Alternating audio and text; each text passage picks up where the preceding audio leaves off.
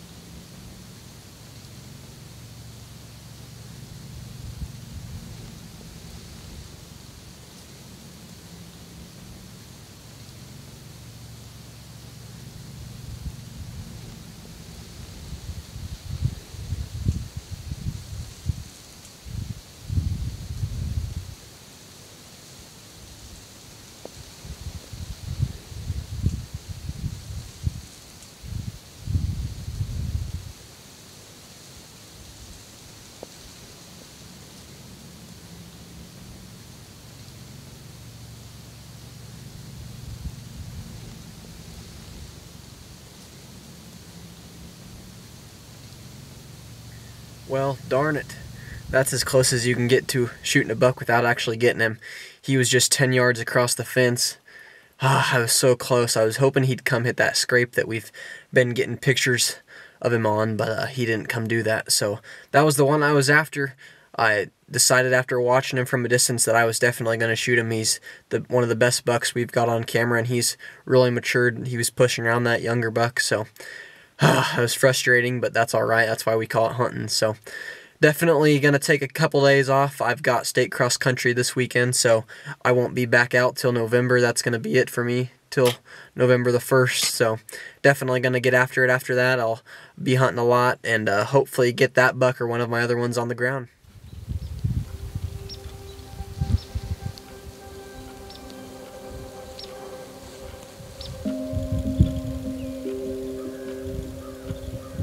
Exciting morning this morning. I'm hunting Vinatieri for the first time in a while. Not hunting where we've been getting pictures of him on the other side of the of what I think is his core area. Uh, next sea, there's a bunch of thick bedding over here to my north, and there's some kind of this brushy pasture that I'm in.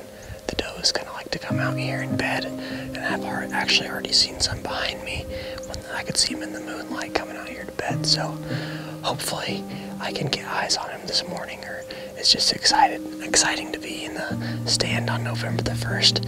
Uh, great, it's gonna be a great start to my favorite month of the year. I brought the decoy in here this morning also, so hopefully I can get eyes on Vinatieri and maybe even get him in here close to this decoy. So we'll see what happens this morning.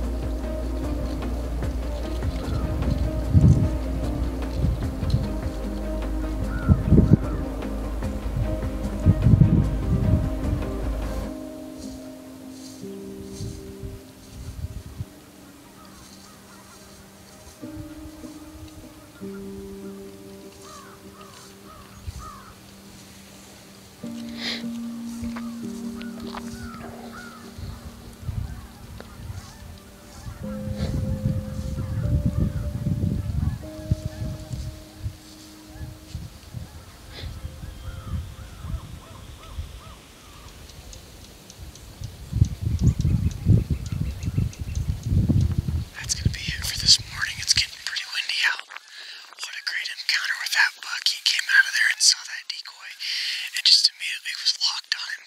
And he stuck around here for almost half an hour, just posturing up to that decoy. It was, that's what you want them to do. I just wish that would have been Vinatieri. Because if it would have been, he would have been toast. Gosh, it was a, such a cool encounter to have him come in and posture up like that. So hopefully I'll keep after him here in the next several couple weeks. It's gonna get good here. So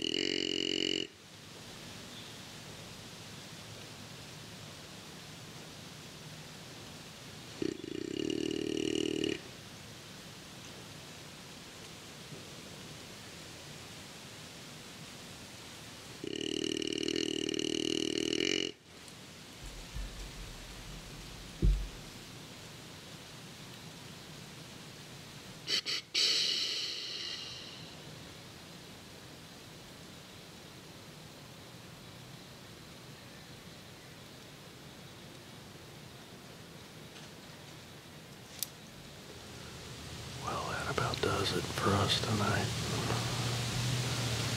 At about 15, 20 minutes of daylight left, we'll uh, bring any footage got this last 15, 20 minutes. Fairly uneventful except for little six pointer and curly. Man, Curly was actually tracking where that six pointer come in behind me. And man, if he'd come just this side of Big Oak here, instead of he headed down towards the six pointer, but man, so close. He didn't want anything to do with the grunt. So, man, after he made that rub, I thought he'd come to a grunt, but he was willing to face off with that six pointer, but he didn't want anything to do with me. It was good seeing him, and I'll be right back in here, maybe tomorrow night, depending on the wind, and uh, definitely next week. Got another cold front coming in, high pressure, so I'll keep you updated on my progress, but chess match has begun with Curly, so hopefully we'll bring you more good footage here next week. Thanks for watching Midwest Whitetail. Great Plains. So I'm settled into the tree. Um, I just love this setup. I'm, I'm excited. Uh, I checked the camera. Uh, probably 200 yards up here. Three days ago, and there are three different shooters in here. Two of them are in daylight. Not consistent, not like they're showing up every day or every other day or anything like that. But tonight is supposed to be a really good night. Um, feels good. Weather is great. We uh, rained most of the morning, and now it's completely shut off. It's supposed to be sunny this afternoon. Got a nice northwest breeze. I love evenings like this. I didn't know what my wind would do down here on this this back end because I'm in really deep draw. Um, pretty high ridges on each side, but so far my scent just keeps wanting to go down away from where the deer are and where they're coming from. My neighbors, um, they have cows, and uh, it's shortly grazed cattle pasture. That's my wind's blowing into. I've got food plot cover, um, plenty of food. I got red oaks right in front of me. I've got a decoy set at 22 yards, and uh, I've already seen one deer. I scared it off when I went and put the decoy up. So uh, hopefully tonight is an epic night. I I've been looking forward to looking at the looking at the weather. I've been looking forward to this day for a while now. So it's finally here. I'm set up. It's early, and uh, hopefully the sun comes out. I think the deer will be moving, hitting this green tonight. So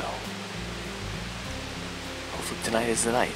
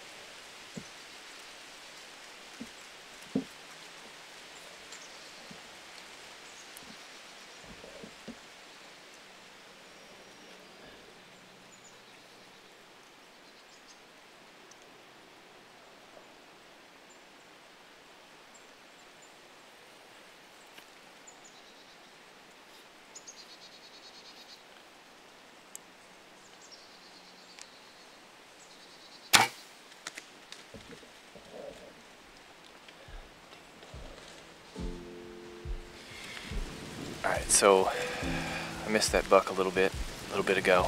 Um, I did watch the footage, and he did duck a little bit. Um, I got a pretty good gash in his back, but I mean it's a flesh wound. It's not, it's nothing serious. Um, I'll, I'll look for blood, you know, do my due diligence, right? But uh, I just want to talk about what went wrong. You know, that buck was standing there at 23 yards, and he was uh, quartering to just slightly. He has his front leg, I think, was back just a little bit. Um, I probably should have taken that shot. I have uh, a really heavy arrow. Um, I think uh, 530 grains, something like that. Not not super super heavy, but I could have got through whatever I needed to in the front there on that buck. That's the shot that my bow set up for. I don't know. The- The other thing that was that caused me problems was my uh, my harness tether. Um, it, was, it was so tight. I was trying to get back far enough so I wouldn't shoot my camera. Um, so it was really tight to my side of my cheek where I anchor. So I, it was just unfortunate situation. I finally got anchored. Felt confident in the shot, but it is what it is. He did drop quite a bit, like I said. But uh, if he hadn't dropped, yeah, probably would have killed him. But didn't work out. It's uh, youth season, and we are uh, in a blind on uh, one of our bigger food plots. We're down in a, we're surrounded uh, by timber back in this holler, and uh, there's really in a blind the only way you can hunt it, but it's uh, it's just got a, a mix of clover and grass back here, but it's we got a picture of a real, real nice buck up here. It's youth season morning. It's cold. We got a frost on, and uh, it's a good morning. So we're excited. This is Rhett's first year to be out here youth hunting. So we're see what we can do.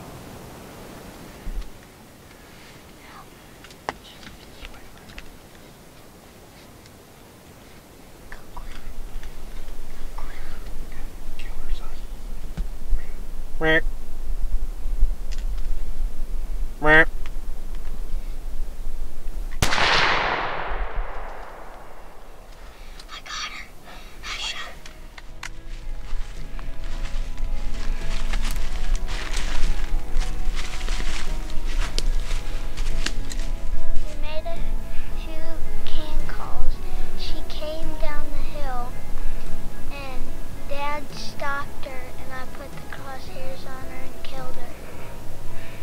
deer, buddy. Are you pumped up?